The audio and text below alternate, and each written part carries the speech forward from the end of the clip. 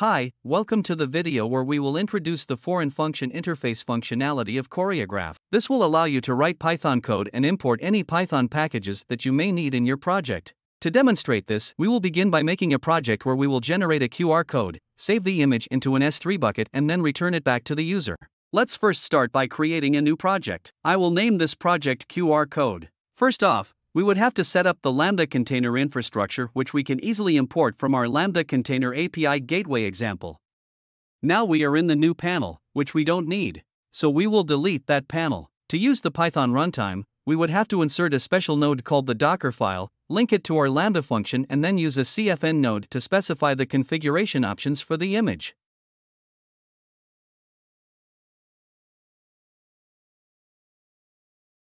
In the configuration for this project, we will import two Python packages called QR code and pillow. We would also have to include container packages that our Python packages depend on. Let's include libjpeg dev and zlib1g dev. We have finished our Lambda container infrastructure setup. The circuit node that you see right next to the Lambda infrastructure is where the data flows through. Let's enter it. As we enter the Lambda function, we can see that every time a new request is called, the getNextInvocation HTTP request node will fire, go through the path, and when it ends, the Lambda will be able to receive the next request. The point of interest is the Lambda function API gateway handler, which is where we'll put all our logic to create the QR code, save it into an S3 bucket, and then return it back to our user. Okay, let's go inside the handler. When we receive a HTTP request, we will cast the contents of our HTTP request from an array of bytes into string. Let's insert our foreign function interface node using the contents of the request as the input. To write the Python code used in this FFI node, we can use the arg node to insert the code. The Python code here does the following. We import QR code package. We import the base 64 package. We import bytes IO from IO we create a QR code from the text, which is our input to this function. We create a buffer. We save the image to the buffer in the format of a PNG. Then we base 64 encode the buffer value and return the output as a string. To actually call this Python code, we would have to specify what function we would like to call here by using our value node. The value node will constantly push the value through the wire, which will act as a constant value in our circuit. The name of our function is called GenerateQR. Inside the arg node, we can see that our function defined as GenerateQR. Let's name this node using an arg node to be called GenerateQR. Okay, now that we have called our function, let's get the output of this result, which we can use a dtuple node to split the FFI node results into the output string and the status. You can use the status port to do some error checking, but in this video we will skip that today. To save the image into an S3 bucket, we would need to set up our S3 bucket infrastructure. We will go back up the project to set up our S3 bucket infrastructure. We'll use the S3 bucket node to create a bucket. To name this node, let's name it output bucket and then we would have to specify the configuration text here, which will be the type of AWS S3 bucket. Now another thing that needs to be done is to import our S3 bucket on empty stack. Delete pattern because CloudFormation will not delete the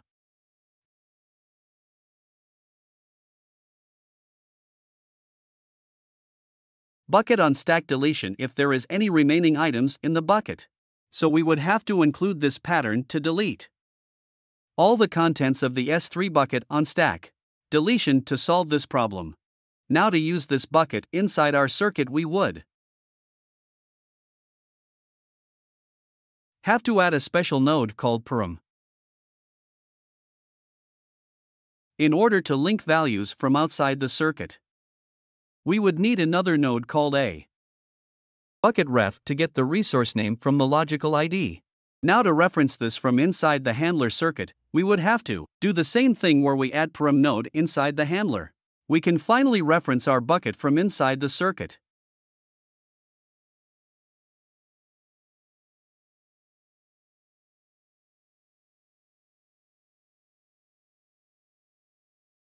Now remember that this output is a base 64 encoded. String so we would have to base 64 decode it. Then we will use another node to save the content of this. To an S3 bucket called the S3 put object node where the body would be the FFI node result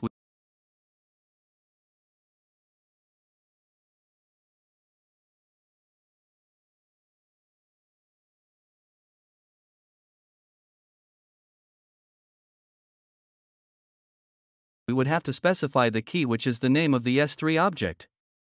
Let's generate a random UUID and then postfix it with a PNG format. Let's attach the key name to the S3 put object request. And then to actually send the HTTP request to AWS, we would have to insert the perform circuit to our project. To use it inside our handler circuit, add a circuit node and Select the Perform node that we have just inserted. Attach the Perform circuit to the Put object node and then to specify which bucket to put the object to, attach our reference to the bucket to the static bucket port. In order to get the URL that links to the QR image we have saved in S3. Instead of putting the object into S3, we get the object from S3 by inserting the getObject node. The key specifies what object we would like to get from the bucket, so we would need to use the key generated previously as an input to our node.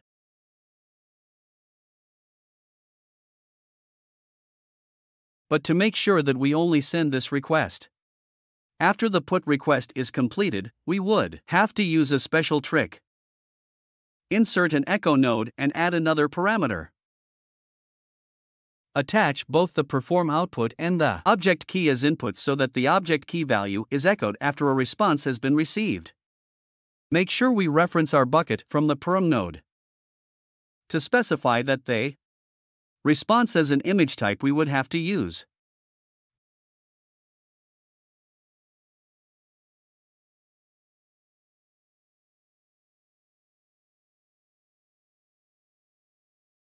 An optional parameter here using an arg node, which we can set the response content type to image PNG and then we can set the pre-signed expiration to be 3600 seconds. So the URL will only expire after 1 hour. To send the HTTP request we will use our special HTTP request to URL node which has the functionality of this perform as well but also extracts the URL of the response as a string. Let's connect this together and make sure.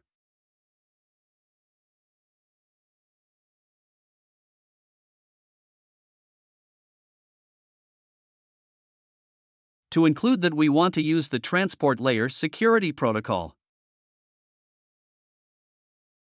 To return the response back to the user using this output here where we can. Assign values using the tuple where the text will be.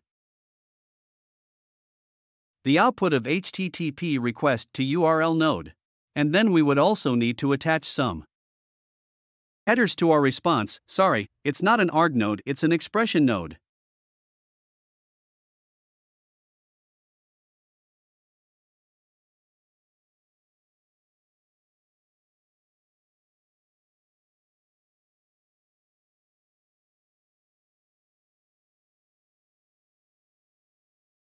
Inside the arg node we attach both the status and the content length to the header port.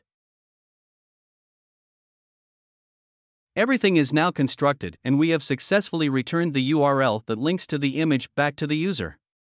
If we have done everything successfully, we should be able to compile the project. Very nice. Let's extract the files from our compiled project. Now let's go over to our AWS console.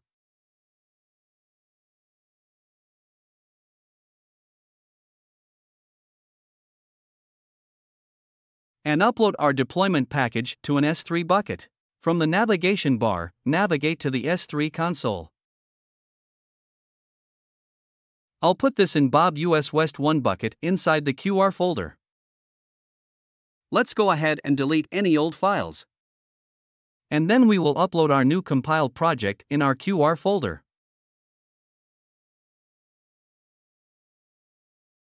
After we have uploaded the deployment package, let's head over to CloudFormation console from the navigation bar. Here we are in the CloudFormation console. Make sure that you are in the same region as your S3 bucket. In S West 1 we will create a stack with new resources. Upload the JSON CloudFormation template file from our compiled project.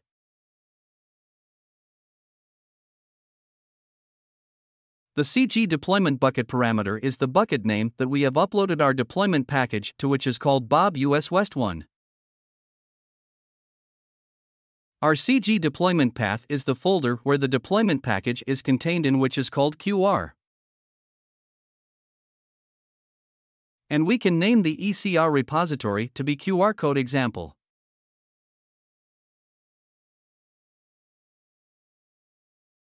Acknowledge that AWS will create resources and submit. Let's wait for the stack to create.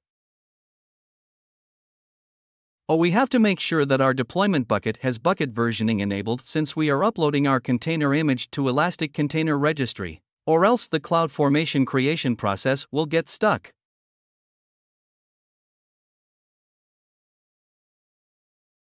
Alright, now that we have successfully created our stack, let's make a request. Head over to the Output tab, copy the endpoint of the API. And let's go to Postman to make our request. Change the request type to Post and in our body. We'll send our website link as the body. Hopefully, the application generates a QR code image. And we have received the QR code. Very nice.